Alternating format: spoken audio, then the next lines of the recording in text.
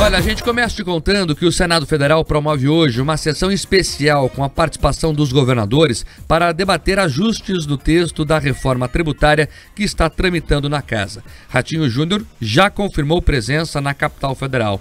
A plenária temática começa daqui a pouquinho, às 10 da manhã, e a expectativa do legislativo é de que a sessão especial deve durar todo o dia, sendo organizada por blocos de representantes por cada região. Os governadores vão participar da discussão sobre sobre a reforma tributária e apresentar suas posições em relação ao texto. Até o início da noite de ontem, pelo menos 14 chefes de executivos estaduais já tinham confirmado presença. Entre eles, claro, o governador Ratinho Júnior do PSD. Como coordenador do consórcio de integração Sul-Sudeste, o COSUD, o chefe do executivo paranaense vem defendendo uma proposta que fortaleça os estados. Também garantiram presença os governadores de Alagoas, Amapá, Amazonas, Bahia, Ceará, Goiás, Mato Grosso, Mato Grosso do Sul, Pernambuco, Piauí, Rio Grande do Sul, Santa Catarina e Tocantins, além dos vice-governadores de Rondônia e Sergipe. Os representantes do Maranhão, Minas Gerais, Pará informaram que não vão participar desse debate. A sessão de hoje no Senado será acompanhada pelo presidente do Legislativo, Rodrigo Pacheco, do PSDB de Minas Gerais. Além dele, também vão participar o relator da matéria na casa, o senador Eduardo Braga, do MDB do Amazonas, e o secretário extraordinário da reforma tributária do Ministério da Fazenda, Bernard Api. A previsão é de que cada governador tenha 10 minutos para fazer um pronunciamento no plenário. Rodrigo Pacheco falou sobre o encontro de hoje. Dia 29 nós temos um encontro aqui que eu considero que vai ser muito proveitoso, que é a presença de todos os governadores e governadoras, todo mundo convidado para estarem no plenário do Senado e manifestarem suas posições em relação à, à reforma tributária. O senador Eduardo Braga está trabalhando muito, apesar do incidente que teve aí, está com problema físico, né, um problema que ele teve no joelho, mas está se esforçando bastante, recebendo os, os segmentos, recebendo os governadores e assim sucessivamente.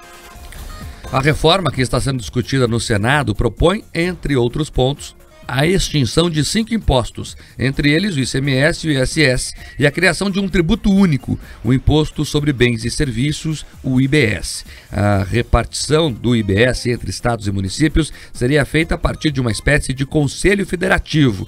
Porém, governadores e prefeitos temem perder autonomia sobre a própria receita com esse novo desenho. Além da sessão especial com os governadores, o relator Eduardo Braga já informou que serão realizadas oito audiências públicas da Comissão de Constituição e Justiça, que será o único colegiado da Casa que vai apreciar o texto antes dele ir ao plenário. A previsão é que a votação na CCJ seja feita no dia 4 de outubro. Então, o Senado está acelerando o calendário, né? a vontade do conjunto dos senadores é resolver isso nesse semestre.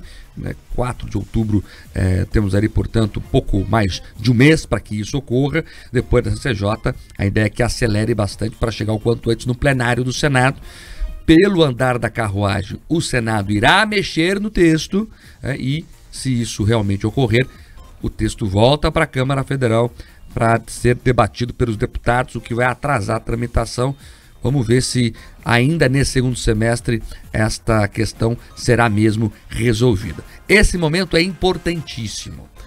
Importantíssimo. Os governadores fizeram algumas concessões para o texto passar na Câmara, mas já com a cabeça dessa discussão do Senado. Foi mais ou menos aquilo. Vamos passar como está aqui, que a gente resolve no Senado. Esse era o espírito entre os governadores. Inclusive foi a fala do Tarcísio quando foi ali um dos principais fiadores do texto que saiu da Câmara. Então agora o Senado tem esse papel importante de discutir principalmente o papel dos entes públicos, estados e municípios. Qual que é a preocupação ali? É justamente sobre a autonomia o governo federal vai recolher tudo e vai fazer o repasse. E aí? Só que o cofre vai ficar com o governo federal. Para falar o português bem claro aqui. E os prefeitos e governadores estão com medo disso. Né? E se entra lá um presidente que é mais ou menos confiável? É essa a preocupação. Os estados e municípios, né? principalmente os municípios que geram as riquezas, todo mundo vive na cidade. Toda fábrica está em alguma cidade. Toda fazenda está em alguma cidade. Aí a cidade que produz a riqueza e que precisa de recurso para asfaltar a rua, para atender aluno de escola pública municipal, para ter guarda municipal, para ter é, ali serviço de saúde. A gente usa a cidade. É nela que tem que estar o recurso. Vai ficar pedindo dinheiro para o governo federal? Vai ali é, ficar à mercê de alguma métrica inventada ali na frente? Porque ela não existe ainda. A ideia é de um fundo. Como é que vai ser esse fundo? Vai ter um conselho que vai fazer a gestão do fundo, mas quem é esse conselho? Ele é paritário, não é? Tá, é muito nebuloso tudo ainda. Aí a ideia é que o Senado destrave essas discussões e que o debate agora seja mais qualificado, até porque o Senado é a casa revisora, é a Câmara Alta, ele serve para isso mesmo, para qualificar o debate, em sua maioria, é, inclusive composto de ex-governadores, gente que já tocou a máquina pública, que sabe o que está fazendo, ou deveria saber pelo menos, e a ideia, Pedroso, é que o debate qualifique um pouco mais. Vamos acompanhar de perto isso ao longo do dia. E tem que qualificar. Vamos lembrar aqui, os nossos ouvintes do Jornal da Manhã já sabem, mas é bom reforçar.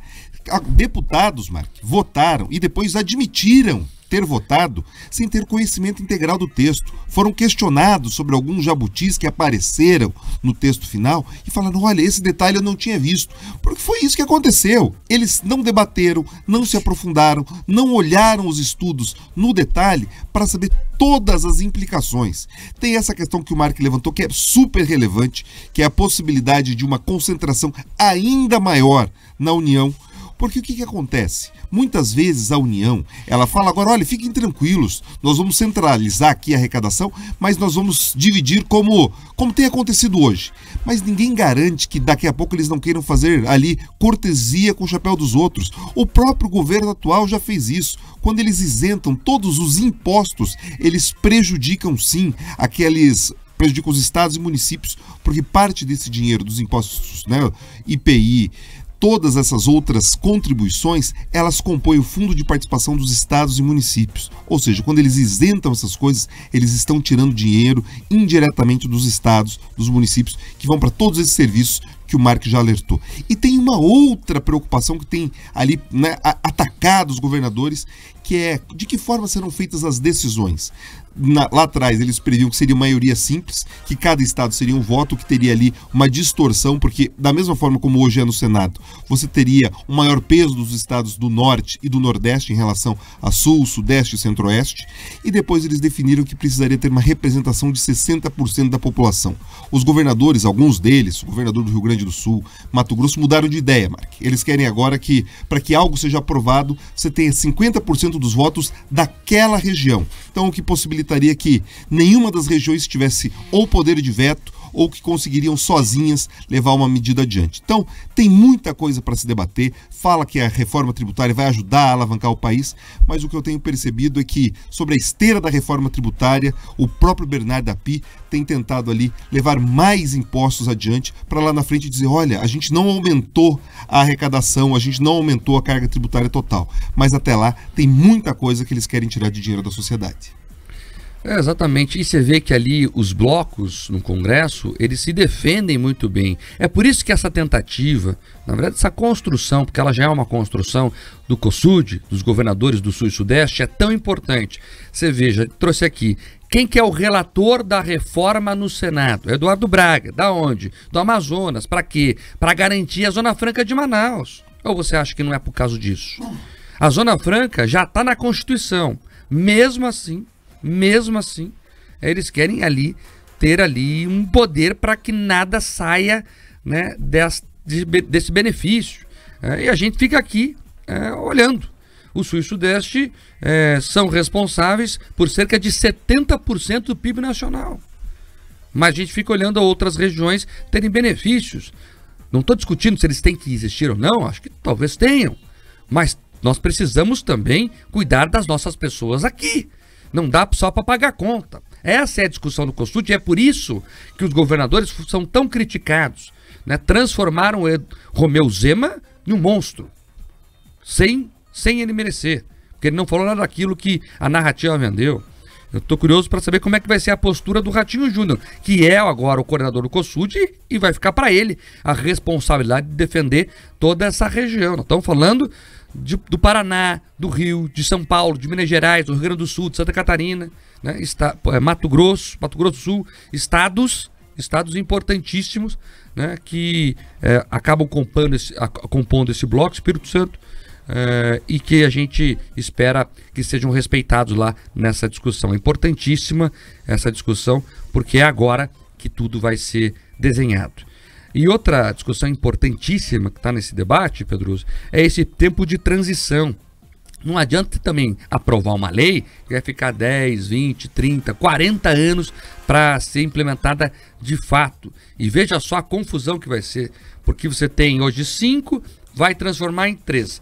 Mas no período de transição você vai ficar com 5 e com 3. Você vai rodar duplo até esses 5 caírem. Então vai ficar com 8 impostos simultaneamente por algum tempo. É?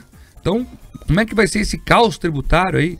Aliás, até lembrando aqui uh, a, expressão usada pelo Augusto Flores, que é nosso ouvinte aqui, inclusive, o Augusto Flores, uh, curitibano aqui, que lançou aquele livro, livro Manicômio Tributário, né?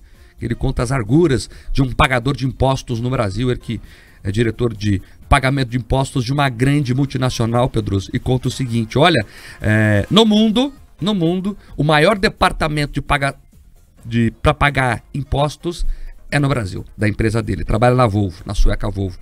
No mundo, o maior departamento né, para pagar impostos da Volvo é no Brasil, aqui em Curitiba, inclusive. E daí você começa a analisar tudo isso impacta no custo Brasil. Então, não adianta os deputados quererem aprovar, os senadores também ali olhar e tentar aprovar sem ter uma reflexão crítica muito aprofundada. O Mark falou aqui do tempo de transição. Nas regras que envolvem os estados, Mark, tem regra de transição que vai a 50 anos. 50 anos. Veja bem, daí eles trazem essas projeções, e é isso que eu às vezes critico alguns colegas, não porque o IPEA falou que 82% dos municípios e 60% dos estados não terão prejuízo, mas eles projetam projetam um crescimento em 50 anos. É óbvio que a arrecadação nesse meio tempo vai superar alguns prejuízos que regiões mais desenvolvidas podem ter com essa reforma tributária. Mas a gente tem que olhar, é, é, o bolo global, a gente tem que entender a lógica que vai estar permeando tudo isso. Então, tem muito debate a ser feito, é uma questão que ela, é, que ela funda as nossas relações. Grandes revoluções no mundo aconteceram por questões tributárias. Então a gente tem que garantir que o nosso país se mantenha estável, coeso, mas que as coisas sejam justas dentro do país, porque senão, Mark, é benefício para lá, benefício para cá e ninguém mais aguenta pagar toda essa conta. Você falou da Zona Franca de Manaus, a gente tem outras áreas de incentivo que teoricamente deveriam ter desenvolvido essas regiões, mas até hoje a gente viu muito pouco acontecendo. Vamos lembrar aqui, Pedroso, Tiradentes morreu por causa de impostos. Depois eles tentaram transformar ele lá no herói da República, isso foi uma construção histórica, não foi a realidade, mas ele lutava contra impostos. Na época, a coroa portuguesa queria 20%. O quinto dos infernos. É, por isso que era o quinto dos infernos, perfeito. 20%. Hoje nós pagamos 30 e poucos no imposto de renda, fora o resto. É isso. Então, se o Tiradentes estivesse vivo hoje, sei lá o que ele ia fazer, né?